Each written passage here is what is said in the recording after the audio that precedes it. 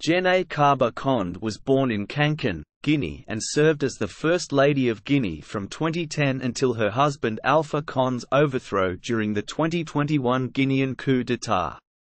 She had three children. Djene studied at University Paris 7 in France, obtaining a Master of Information Science and Communication and a degree in Sociology.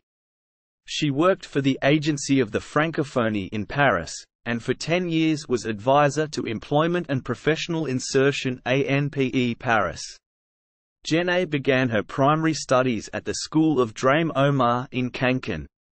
After her admission to the CEP, she continued her schooling at Almami College Samori Touré became High School Almami Samori Touré for his secondary studies. Her admission to the BEPC still gave her the taste to continue her studies. Thus she will meet successively at the Lycée the 2nd of August and the 1st of March in Conakry where she got the baccalaureate.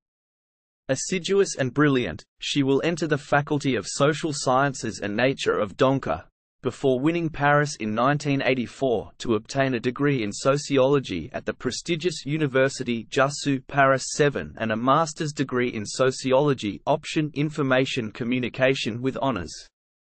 Immediately after graduating from university and her postgraduate studies, Djene began working at the Agency for Cultural and Technical Cooperation, now the Agence de la Francophonie, in Paris for eight years under different responsibilities.